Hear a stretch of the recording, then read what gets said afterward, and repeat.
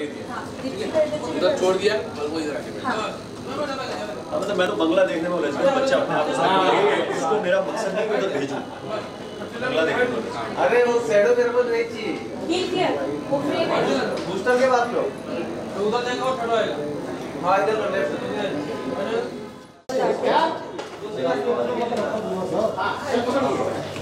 So same glass या कौन सा हो तो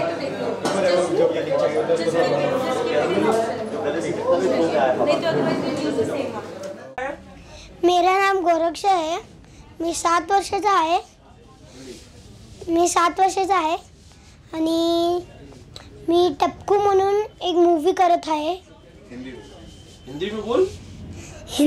आता थोडंफार मेरा प्रदीप जी नमस्कार सर। नमस्कार सर। प्रदीप जी क्या शूट चल रहा है यहाँ पे? ये सर फ़िल्म है टपकू और ये अनुसिक पगारे डायरेक्टर की फ़िल्म है जो मैं यहाँ पे कर रहा हूँ। जी। आ, क्या रोल कर रहे हैं प्रदीप जी आप इस फ़िल्म में? सर मेरा रोल इसमें बच्चे गाँव से चुरा के लाता है और शहर में बेचता है। इस तरह का कैरेक्टर है नेगेटिव है और इसी पे आधारित है। प्रदीप जी चाइल्ड ट्रैफिकिंग का मुद्दा बताया जा रहा है। मुझे बाल तस्करी बच्चों को चोरी करके बेचना उनके अंगों को बेचना ऐसा गंभीर विषय उठाया गया है। तो आपको कहानी में कितना यूनिकनेस लगा कितना नयापन लगा? अ, कहानी तो वन लाइन में तो इस तरह की चीज़ें आ चुकी है लेकिन उसका प्रेजेंटेशन उसका जो स्क्रीन प्ले है उसका जो मोमेंट है कहानी का वो काफ़ी नया है और वो आपको देख के मज़ा आएगा। बात पुरानी है लेकिन नए रूप से कही जा रही है। तो वो एक नई बात है जो हम स्क्रीन प्ले में वो चीज़ें सारी आपको निकल के आएँगी सामने।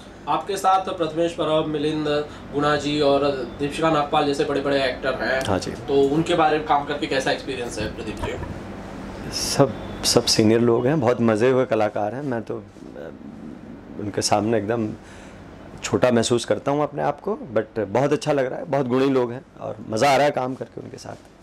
बताया ये क्या है कि अनुसिक पगारे जो कि आपके फ़िल्म के डायरेक्टर हैं उनकी डेब्यूटेंट मूवी है वो प्रकाश झा के एडी रह चुके हैं।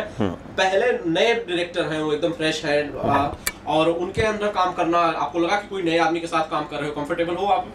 बिल्कुल बिल्कुल। उनका जो शॉर्ट टेकिंग है जिस तरह से वो सीन को समझा रहे हैं ऑडियंस को जो समझ में आएगी बात टेकिंग बहुत अच्छी कर रहे हैं वो अपने तरीके से वो सीन ओपन करते हैं।